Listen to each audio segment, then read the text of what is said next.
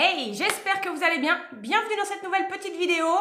Aujourd'hui, moi je trouve que j'ai une tête de mort. Enfin, ce n'est que mon avis, je ne sais pas ce que vous en pensez, mais euh, par conséquent, j'ai décidé de m'installer là, me maquiller avec vous, tranquillement. J'ai envie de faire un petit peu un ravalement de façade. Et je me suis dit que j'allais en profiter pour tester quelques petites nouveautés maquillage que j'ai dans mes tiroirs et puis papoter un petit peu, voilà, ce que j'aime bien faire, tout simplement.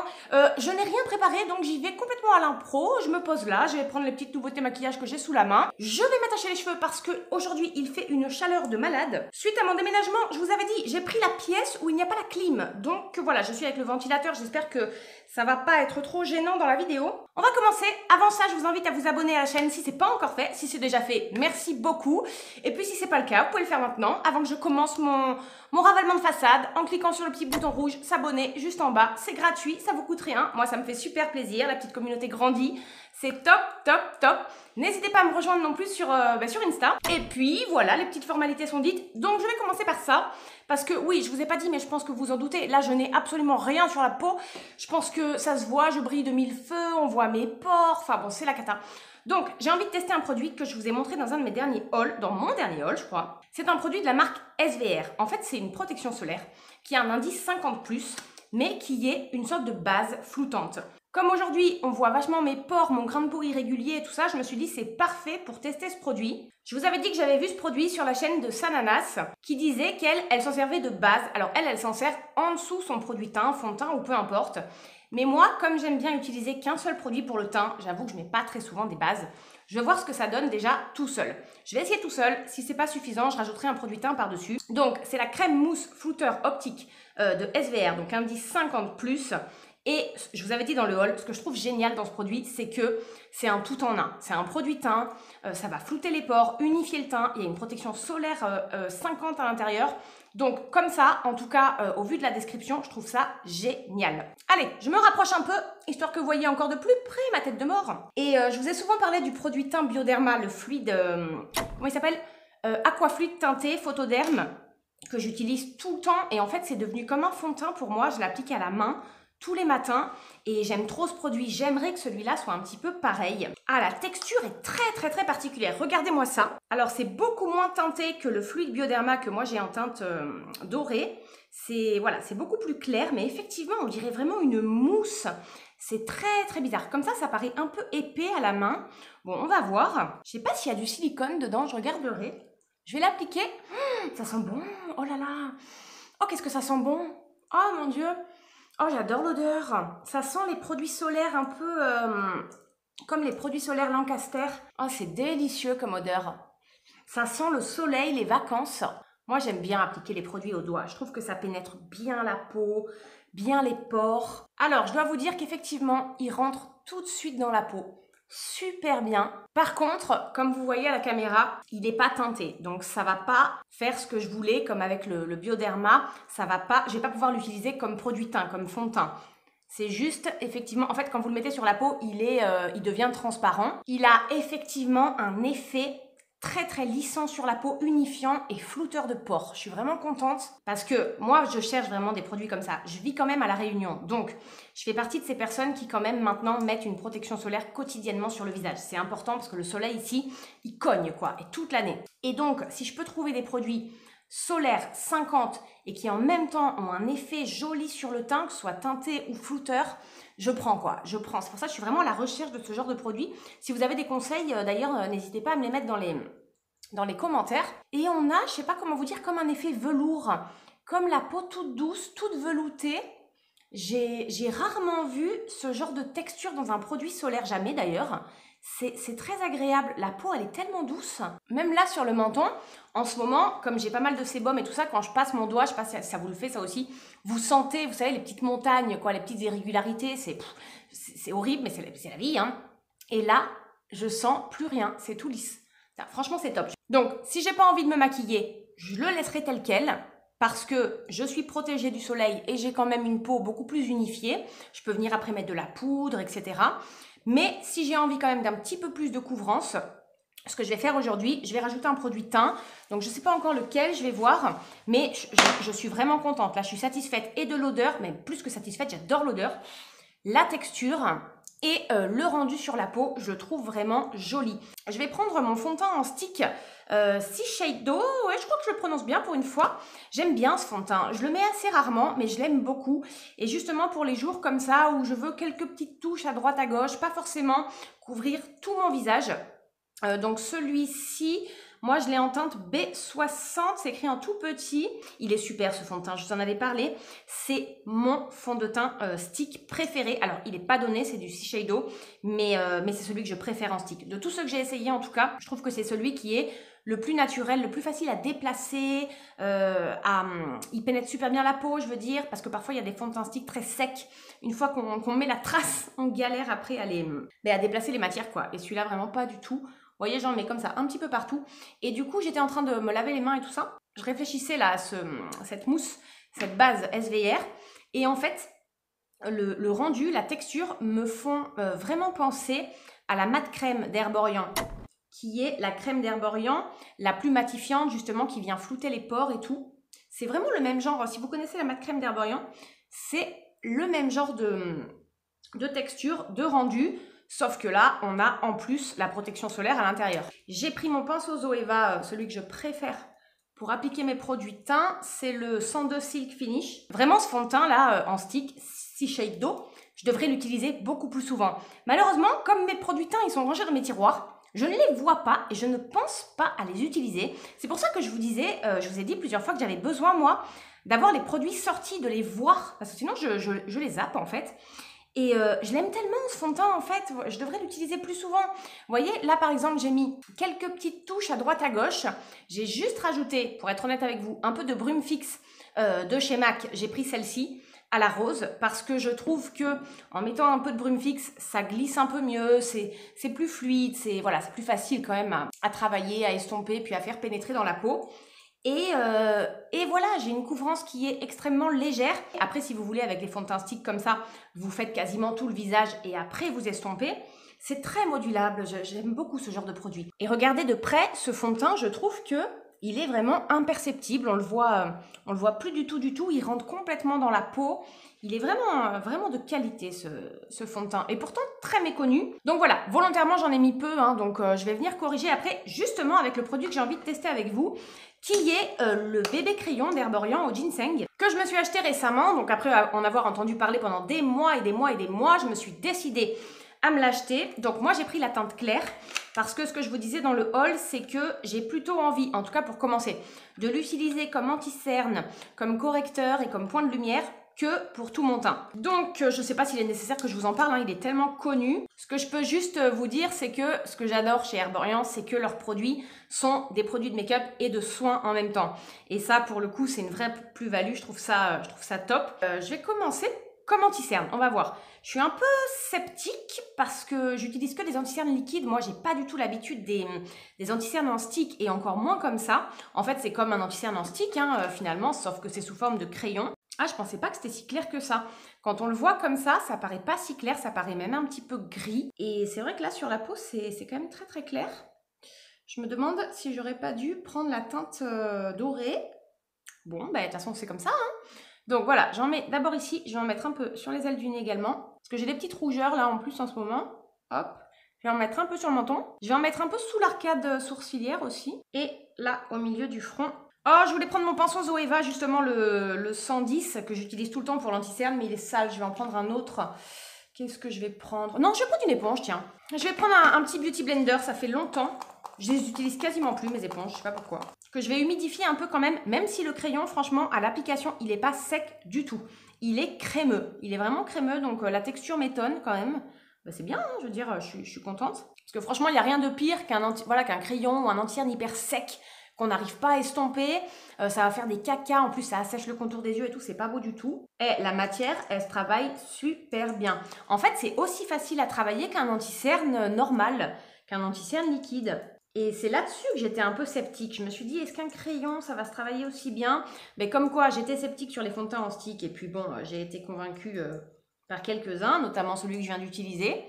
Ben là, c'est un peu pareil. Par contre, la, teinte claire, là, pour moi, c'est c'est trop clair, hein, je crois. Ouais, je pense qu'il m'aurait plutôt fallu la teinte dorée. Bon, ce que je vais faire, c'est que je viens quand même en rajouter un peu. Alors, par contre, c'est pas très couvrant. Hein.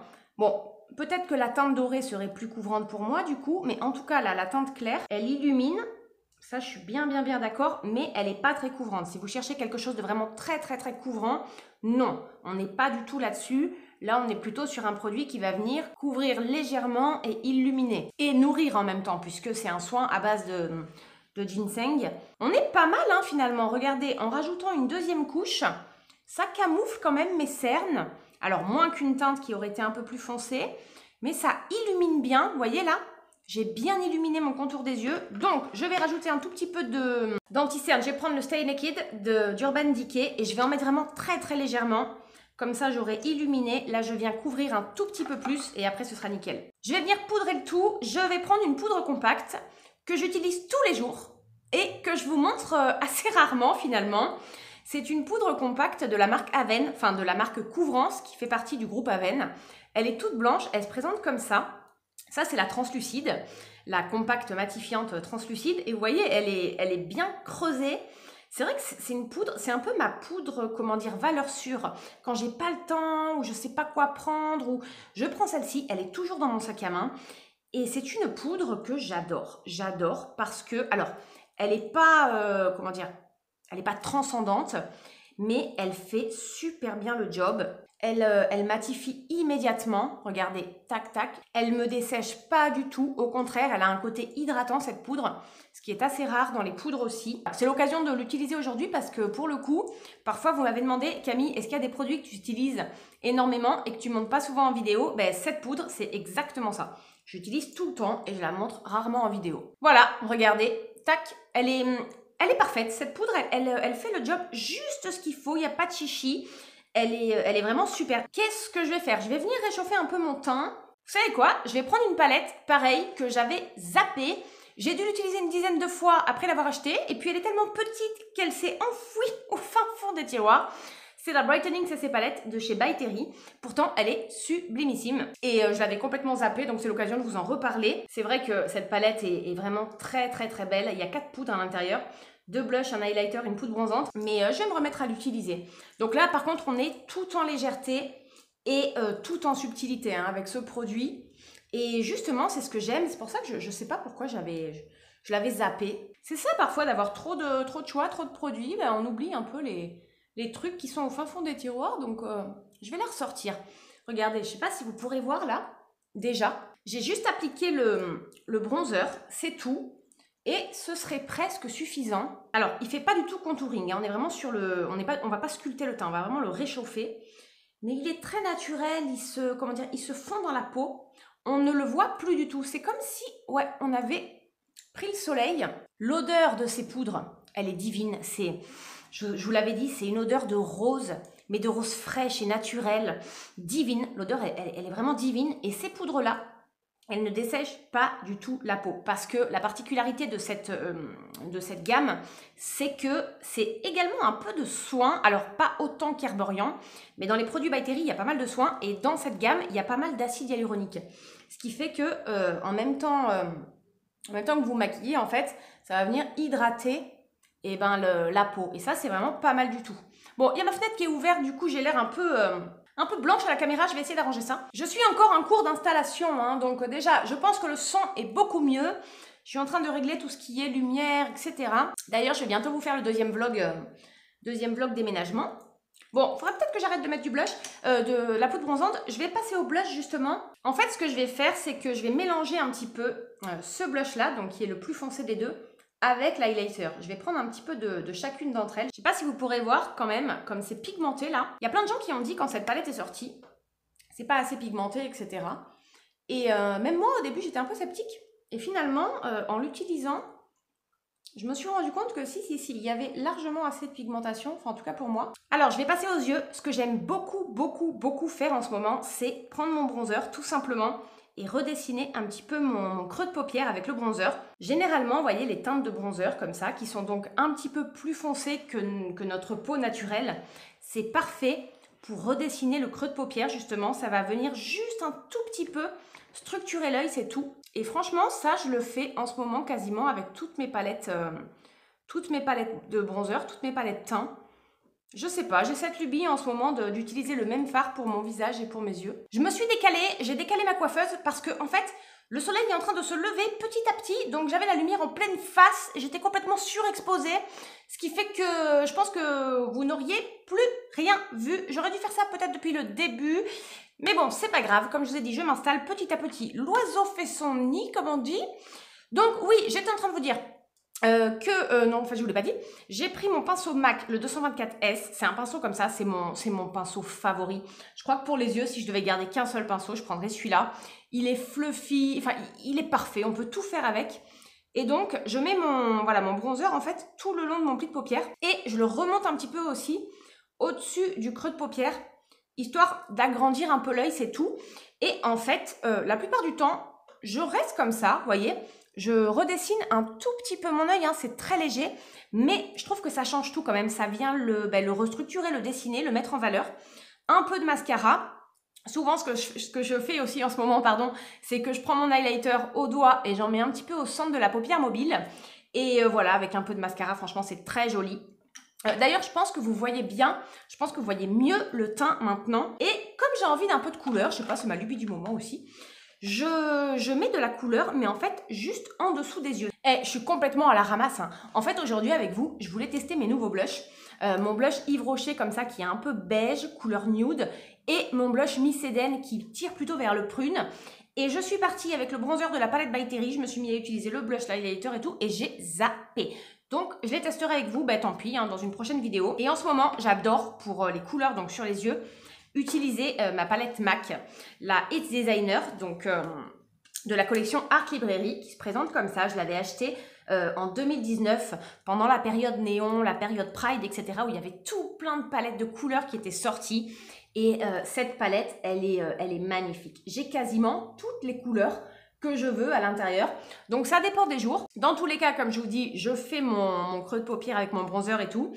Et euh, quand j'ai envie de jaune, euh, je prends du jaune, du vert, du bleu, orange, rose, voilà. Ça dépend des jours. Je change de couleur euh, selon les, selon les jours. Aujourd'hui, je pense que je vais... Qu'est-ce que je vais prendre aujourd'hui? Comment je suis habillée hmm? Je suis habillée, ouais, en, rouille. Je voulais faire du, mettre du bleu, mais je sais pas si ça va le faire. Si, j'ai quand même envie de mettre du bleu, donc je m'en fous. Quitte à me changer après, je, vais mettre du bleu. Donc je prends un tout petit pinceau comme ça. Celui-là, c'est le 317, le fameux 317 de chez Zoeva. Et tout simplement, je viens me faire un, petit rat de en fait. Ah ouais, on voit beaucoup mieux comme ça. Hein. Est-ce que je recommence ma vidéo du début? Non. Non, j'ai trop la flemme. Mais vous voyez bien le make-up maintenant, donc c'est l'essentiel. Ça, c'est une bonne technique si vous voulez mettre de la couleur quand même sur vos yeux mais que vous avez des petites problématiques euh, comme moi par exemple des paupières tombantes ou voilà si la couleur ça vous va pas forcément ou que comme moi vous pouvez pas forcément faire ce que vous voulez avec vos yeux euh, euh, pour différentes raisons et eh ben ça c'est pas mal parce que du coup la couleur on la voit vachement bien et on peut quand même s'amuser avec les couleurs moi ce que je fais donc vous voyez là je l'ai mis tout le long de mon ratil et je viens juste avec la forme du pinceau prolonger un tout petit peu ici pas pourquoi je fais ça en ce moment comme un liner mais à l'envers en fait tout simplement, je, dépose la pointe et hop, c'est, voilà, vous voyez, ça fait comme une petite queue de liner. Sauf que au lieu de la faire partir du haut, ben, je la fais partir du bas. Ok, donc j'ai mis mon petit mascara. Aujourd'hui, j'ai mis le Volume Million Lashes So Couture de chez L'Oréal. Celui-ci que j'aime beaucoup, beaucoup. J'ai rajouté un peu de crayon en muqueuse, là, euh, en muqueuse inférieure. J'ai pris justement un crayon bleu de chez Kiko.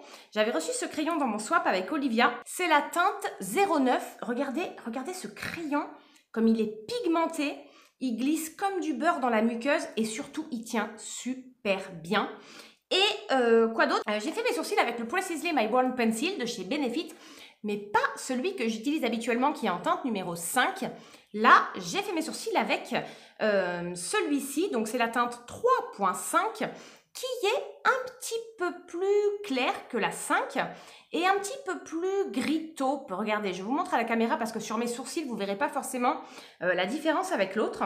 C'est un petit peu plus doux en fait. Et celui-ci, je l'ai reçu dans la box de Virginie, Virginie Box 974 pour euh, celles qui vivent à La Réunion. Je vous montre un petit peu plus près ce que ça donne. Et je ne sais pas ce que vous en pensez, mais on voit vachement bien la couleur sous l'œil et moi j'adore faire ça en ce moment. Donc euh, je fais ça aussi avec celui-ci, ce bleu là qui est un petit peu plus euh, azur et, euh, et, satiné. Je trouve que ça fait vachement ressortir les yeux. et la couleur en elle-même, bien sûr. Et vous voyez, je fais ma petite sorte de, de queue de liner, donc ici, mais avec le pinceau et le, et le fard à paupières. Et là, l'association du fard à paupières et du crayon, moi, j'aime j'aime beaucoup. Je sais pas, dites-moi ce que vous en pensez dans les commentaires. Et c'est tout. Vous voyez, j'ai mis un fard de transition qui était mon bronzer. Au-dessus, c'est tout ce qu'il y a. En dessous, il y a un fard coloré, un peu de crayon, un peu de mascara. Et le tour est joué. Et je trouve que ça fait un make-up original, mais en même temps très très simple. Donc, euh, bah, tout ce que j'aime, quoi. On va finir cette euh, petite vidéo bah, avec les lèvres. Je vais justement euh, appliquer le dernier gloss que j'ai reçu, qui est le Lip Injection donc de chez Too Faced mais pas le transparent que j'avais déjà, c'est celui-ci. Donc celui-ci qui est un petit peu rosé. Et en fait, c'est un repulpeur de lèvres. Voilà, Lip Injection Too Faced pour des lèvres pulpeuses, inimitables. Et je vous avais dit que j'aimais bien ce gloss. Généralement, je suis pas très très gloss, mais celui-ci, je l'aime beaucoup. Au-delà du fait qu'il vient effectivement repulper un peu les lèvres, je trouve qu'il a un fini vraiment sympa et pas too much. C'est surtout ça que j'aime bien. Je mets rien en dessous, hein, j'y vais direct. Euh, parce que juste un petit gloss comme ça, avec ce make-up des yeux, je pense que ça, ça fera l'affaire. Donc au début, on a ce petit effet un petit peu mentholé qui pique très très légèrement les lèvres, mais franchement c'est léger. Mais je préfère vous le dire parce qu'il y en a qui aiment pas du tout et qui trouvent ça hyper désagréable. Mais ça dure pas, voilà, ça dure une minute, un petit peu plus. Donc là on va le laisser agir justement un petit peu. Et en attendant, je vais mettre une brume fixe, une nouvelle brume fixatrice justement. Je vous l'avais montré aussi dans mon haul en même temps que la mousse euh, SVR, la base Blur. C'est la brume solaire de chez SVR de la gamme Sun Secure. Donc pareil, indice 50 plus pareil. Donc c'est une brume fraîche invisible. Donc moi je l'ai acheté surtout pour l'avoir dans mon sac à main et pour pouvoir au cours de la journée, voilà, rajouter un petit peu de protection solaire 50 parce que sinon celle qu'on met le matin, ben, dure pas toute la journée. Et il n'est pas question que je vienne me remettre de la crème solaire par-dessus mon make-up. Donc je vais d'abord essayer, voilà, je, vais essayer sur le make-up. J'espère que ça va pas tout déplacer. Mais euh, ce, que disait, euh, ce que disait Sananas justement dans sa vidéo, bon, elle, elle a la Vichy, mais c'est que ça ne déplace pas les matières. Au contraire, ça vient un petit peu les faire fondre comme une brume fixatrice de maquillage classique. Donc, euh, si ça peut être une brume qui vient fixer le make-up euh, et qui vient en plus apporter une couche de protection solaire supplémentaire, euh, franchement, je, je prends. Oh, oh c'est d'une légèreté. Je m'attendais pas à ça. C'est un spray, mais... alors, l'odeur ressemble un petit peu à celle de la mousse, mais en plus, euh, comment dire, avec une petite odeur un petit peu de gel coiffant, de gel pour les cheveux en même temps. Je sais sais pas si je m'exprime bien, mais c'est pas désagréable. Et voilà, c'est en train de partir. On le sent une fois qu'on l'applique, mais après ça s'en va. Et c'est tellement léger, c'est extrêmement léger. On sent même pas les gouttelettes en fait. Je sais pas comment vous expliquer. Donc bon, pour le moment, ça a pas l'air de déplacer toutes les matières. Je vais attendre une ou deux minutes et on va voir ce que ça donne. Alors, il y a des brumes qui mettent un petit peu de temps à sécher sur le visage, un petit peu comme celle de MAC d'ailleurs, la brume fixe. Il faut attendre parfois 2-3 minutes. Là, c'est très bizarre, c'est comme un spray pour les cheveux. On a l'impression que tout de suite, tout est rentré et on ne sent plus rien du tout. On peut même toucher son visage. Euh, ça dépasse pas les matières. C'est, c'est fou en fait de s'imaginer que tout de suite c'est pénétré. On ne la sent plus du tout et il y a une protection solaire 50 à l'intérieur. Franchement, euh, je suis bien, bien, bien contente. Je vais la mettre dans mon sac à main aujourd'hui.